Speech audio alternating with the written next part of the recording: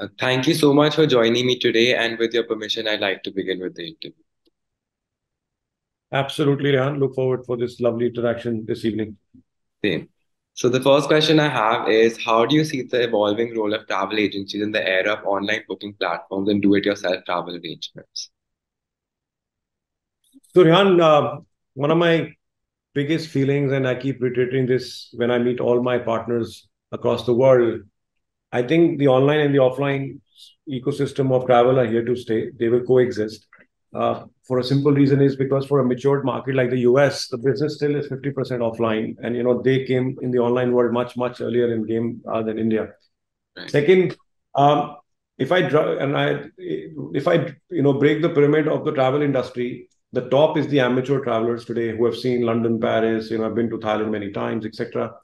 Um, the second pyramid is the ones who are now looking at London, Paris, Turkey, you know, destinations like these.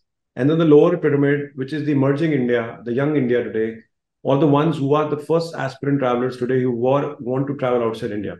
Just to give you a number, there are 160 million passports in India, wow. out of which only 26 million trips happen. So you can imagine 130 million people have never traveled out of India.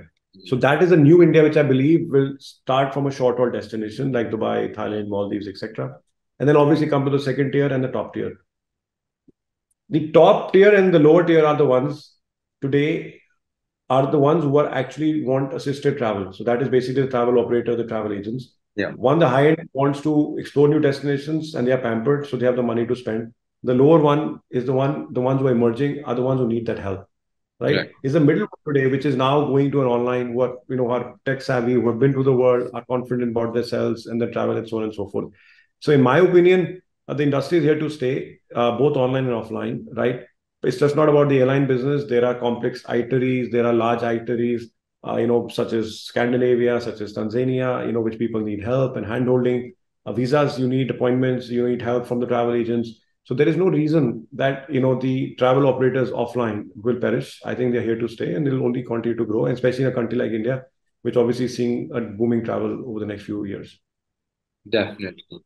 So the next question I have is, can you elaborate on the impact of emerging technologies such as artificial intelligence and blockchain on the travel industry and how your agency is leveraging these advantages or advances? So for the travel industry, these words, blockchain and artificial intelligence obviously came in three, four years back. Right. Um, the industry is now looking at adopting them. Some of the companies in India in specific are looking at AI and what they can use this, you know, for their best leveraging, you know, in terms of supply, demand, what they can help, also for the consumer.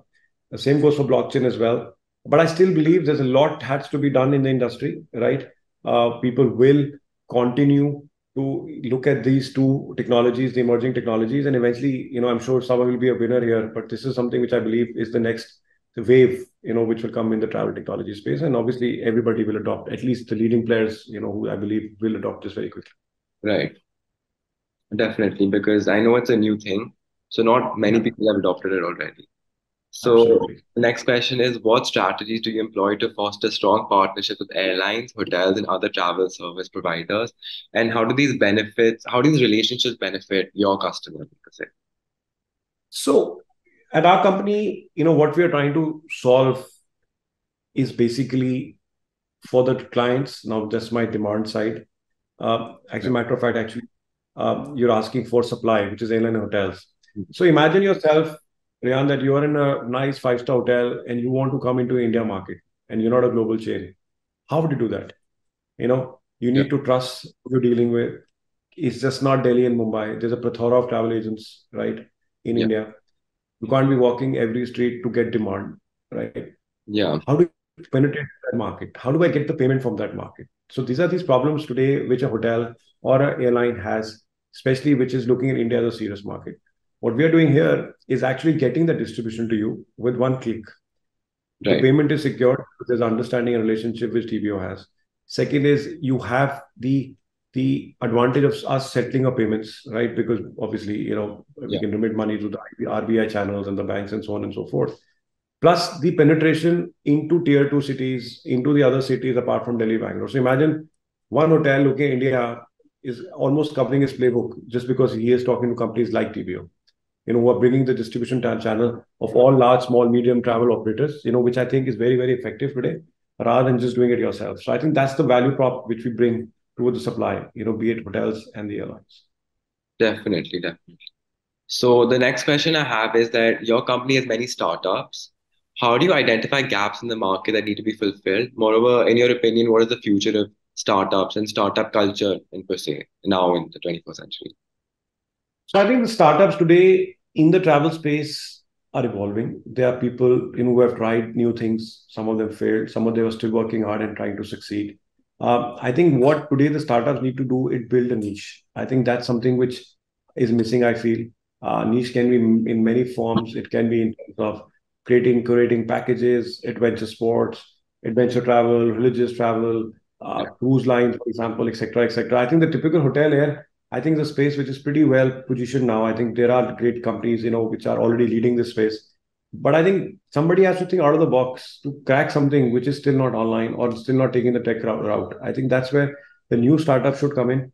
Uh, if you're doing the same, uh, you know, hotel air, I think um, you know, it's time that either you will shrink or you need capital desperately, or one of the guys like us or somebody will acquire you. I think that's where I think the startup ecosystem should be penetrating is the new so-called solutions, you know, which are coming in the new emerging travel space, in my opinion. Definitely. Just a quick follow-up question from that is that what is your strategy towards strategy towards kind of acquiring startups or any uh, startups you're currently looking at acquiring? An example. Typically, you know, we believe in taking some sweat equity, you know, and obviously invest some money, you know, just as a initial seed funding, because I think what value we bring to a startup is a lot of um, you know synergies which we can help them you know we can they can leverage our distribution system they can leverage our credibility right. um, you know which I think takes time for somebody to build if this comes to you you know overnight i think speed to market today is very very critical and i think that's where TBO adds a lot of value for any startup joining hands with us uh, in a you know in a part of our kind of minority slash whatever stakes we have. Right, definitely. So the next question is a little on the lighter note. So what are a few hobbies you pursue that may have or may not have actually affected your entrepreneurial journey?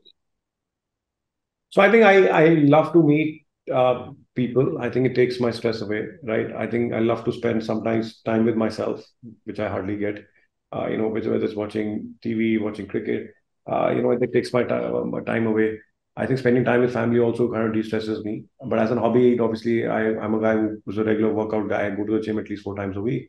And I play cricket uh, at a corporate level, which is pretty serious, either on a Saturday or Sunday. But I play literally 40 matches in a year, which is also a big stress buster because when I'm on the ground, I just forget everything. I think so. These are things which are very important uh, you know, to take you away from your day-to-day challenging, exciting routines. You know, so I think that's a big uh, hobbies for me. I think. Yeah. Yeah, definitely. I mean, forty matches is a lot, even in just yeah, one. So, so my final question is that what advice would you give to an aspiring entrepreneur who who wants to break into the specific travel industry? So I think um, uh, you know companies like ours and many successful were not built overnight. I think you know people think uh, it's a two-year story, three-year story. It doesn't. I think it takes decades or 20 years or 15 years to be a real solid company, you know, which is meaningful in the travel technology ecosystem. Um, so don't cut it short. I think uh, technology is a, is, is, is a must, must. I think that is something which should be the first thing on your table.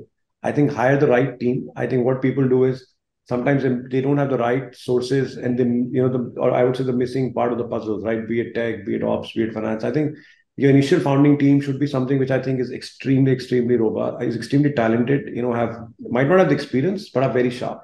Yeah. And I think that synergy within that team, I think, is extremely important. Because what I realize, somebody will not will not have a great tech guy, some might not have an ops guy, you know. So I think who capture I mean stays back. I think that's where the challenge, in my opinion, stays.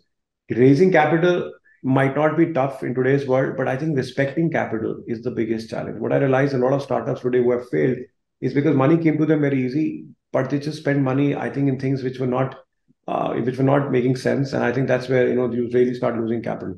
And I think capital should be value, you know, irrespective of the size you are today.